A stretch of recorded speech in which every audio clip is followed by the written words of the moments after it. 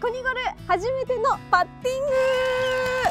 教えてくださるのはクレマティことクレマス先生です、はい、クレマツです。よろしくお願いします。今までだとこうドライバーとかアイアンってとりあえず旗の方に打っていくっていうような作業だったと思うんですけど、はい、カップありますよね、はい、で最後にこのボールを転がしてですねカップインする。お、はいはい、これがパッティングになります。早速ですねちょっとこう何も僕はちょっと言わない状態でどのぐらい今小西さんができるかっていうのも。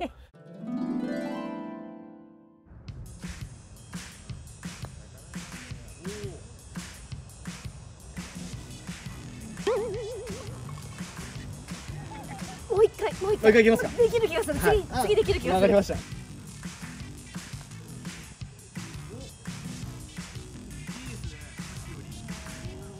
難しい。難しいですか？そう距離はうまくいっても、はい、方向性がそうですね。なんか難しいなと思いました、はい。まあ、パッティングは本当にこう距離感も大事ですし、はい、方向性もやっぱすごくあのカップに入れないといけないですから、まあ、非常に重要なところにはなりますのでだから今からちょっとあの基本の方、はい、ちょっと構え方とか、はい、打ち方をレッスンしていきたいと思います、はいグリップ、まあ、大事です。で、はい、パターはあの基本的にまあ振り子運動っていうのは基本的なイメージなんですけども、はい、まあ先ほど小西さんも気づいた方向性そう。大事ですよね。大事。すごく。であそこに今カップがあります、はい、であそこのカップにじゃあボールを右手で転がして入れてくださいと言った時に、うん、この右の手のひらを必ずあそこのカップの方に向けてこうやって転がすと思うんですよ。はいはい、こうやって転がすことによってカップの方にこうやっていくわけです。右の手のひらをターゲットの方いわゆる自分の打ちたい方向にこうやって向けて転がすっていうのがまず非常に重要です。まあ、こうカップの方に向かって、はい、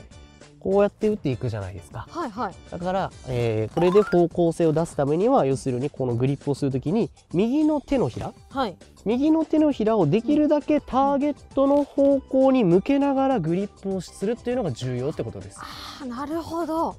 こうなったり、はい、こうなったりすると、うん、先ほどのこの転がす感じとは全然違うイメージになっちゃいますよね。はいはいで実際ボール打つのはフェース面で打ちますから、はい、できるだけフェースの向きと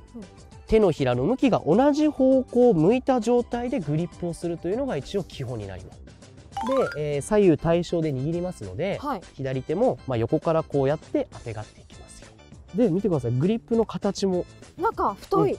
そうです。カクカクしてる。そう。太くてちょっとこう角もついてたりとかします。形が形状が違うってことは握り方も変わりますよというなんだ。先ほど言った振り子運動、まあ、これが非常に重要になりますので、はい、振り子運動をする時っていうのはこの構えた状態からこういう動きでこれが振り子運動になるわけですのではいはい、でこの時って肘からシャフトってまっすぐ伸びてると思うんですね。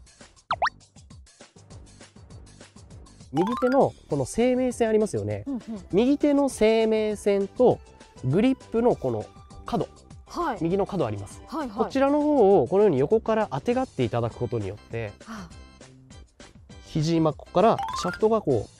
う一直線にあ今なりましたね。なりましたよね、はいはいはい、ここが非常に今重要なポイントになります。だからまあ左右対称ですので、はい、左側も同じように左の生命線と左の角をこのように合わせていただくことによって、まあ、ここに今まっすぐなってますよね、はい、よりまあ振り子になりやすいという状態ですね、うん、種類としてはこの左手のまあ人差し指ですね。はい、これがまあ右手のまあ指の上に来る形。スタンスは肩幅ぐらいまあ広げていただいて、はい、肘からシャフトをある程度まっすぐして、まあ、グリップポジション安定させる、そうですね、でこの状態から、はい、えー、両肘あると思うんですけども、はい、両肘を軽くですね体の方にこうやってまあつけていただいてでこの状態でそのままこの形をですね変えずにクラブヘッドを、えー、地面の方まで、まあ、このようにつけていただきます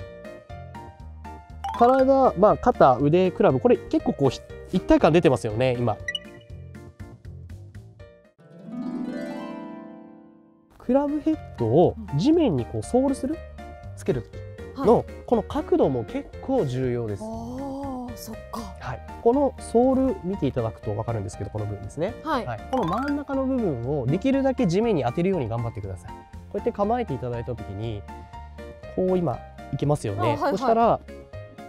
ここれなんか先がこれなんか浮いてますよね。浮いてる。真ん中の部分、ソールの真ん中の部分ついてないですよね、ですから芯外れたりフェースがもうかぶったりもします。これもあんまり良くないです。逆のことが起きてます。ヒールが上がって。はいはいはい。先がですね頭側がこうやって浮く場合はですね、うん、少しクラブをですねこう短く持っていただければこうできます。で逆にこうヒール側が浮く場合、はい、こういう場合は逆にちょっと短く持ちすぎてますので、こういう場合は逆にこうやってちょっと長く持っていただけるとこういうふうにできますターゲットに向かってボールがですね順回転で転がっていただくということがまあ非常に重要になります。こう回転していただければいいわけですよ。ねはいはい、はい、これがいわゆる順回転です。そしたらカップ向かっていきますよね。はい。だからこういうふうに順回転でボールが転がるように構えていただくというイメージです。そのためにはボールのポジションがまず大事です。で一応答えを先にお伝えすると、えー、左目の下になります左目の下。だから中心より少し左ですよね。ちょっと左きますね。はい、ここがパターのボールポジションです。順回転にするということは、はい、このようにクラブがあってボールがあったら、はい、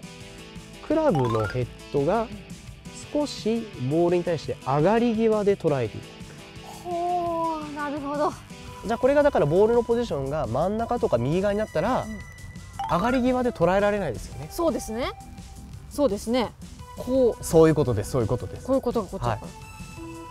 だからボールの転がりが悪くなる恐れがありますああなるほど。ハンドファーストにパターも構えていただくということが基本になります。どういうことかというと、先ほどヘッドの上がり際でボールを捉えて、はい、まあ、循環転かけていただくということなんですけど、まあ、それでハンドファーストの状態で構えて打っていただくことによって、うん、あのボールの転がりっていうのは非常にまた安定しますので、でこのハンドファーストをまあしていただきたいんですけども、はい、どのぐらいがまあその目安かっていうと、はい、こうやってハンドファーストをこうやってしていただいた時にフェースが見えなくなるところがあるんですよ。ロフトの角度が違うのでハンドファーストの度合いっていうのは人それぞれです。基本的なストロークのイメージというのは、うん、手首をこう使ったりとか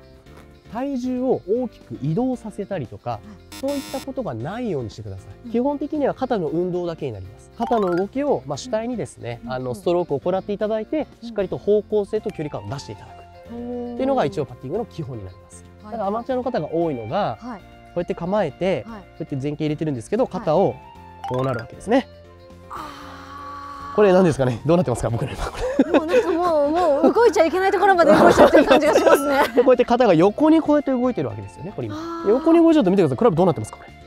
ああああああですね。これも振り子でも何でもなくなっちゃってますね、はい、だから方向性と距離感が非常に難しくなるってことですいやーなんか難しい感じもしましたけどでもなんか教えていただいた通りやったらできそうな気もしてきました。本当ですか、はい、ありがとうございます。じゃあ今あのやっていただいたまああのセットアップだったり、はい、まあ、打ち方っていうのを、まあ、実際に、うん、あのコースに出て、ちょっと実践で、はい、あのちょっとやっていこうかなと。ハッピーメリークリスマス。トナカイの角をつけたまま。そしたらあ惜しいもうすごいです。最後までご覧いただきありがとうございます。チャンネル登録はこちら。